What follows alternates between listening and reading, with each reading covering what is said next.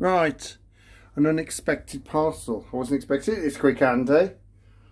This is from Andy, Mr. Brereton. Um, what it was, when I bought the machine, it's Marconiphone, the turntable was that badly warped. It, I, well, you could just about play a record on it. Anyway, I was talking to Andy, and he says uh, he could, uh, he's got one which he says it, uh, he let me buy, which is very kind of him.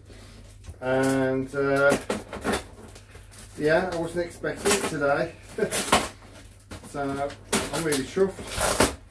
So I had a bit of a debacle with it because it went missing and then realised that the postman had put it behind his bin and he didn't realise. So, so here you go.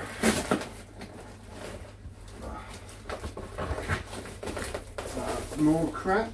That's the towel. Oh, fucking wicked. I mean, excuse me language. That's, that is mint. Wow.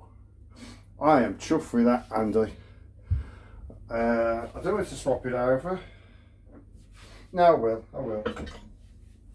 There you go. That's the one that was on me other Marconiphone. That's the one Andy sent me.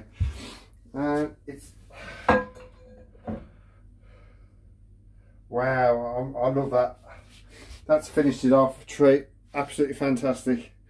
Thanks, Andy. Appreciate that. Uh, I'll let you know.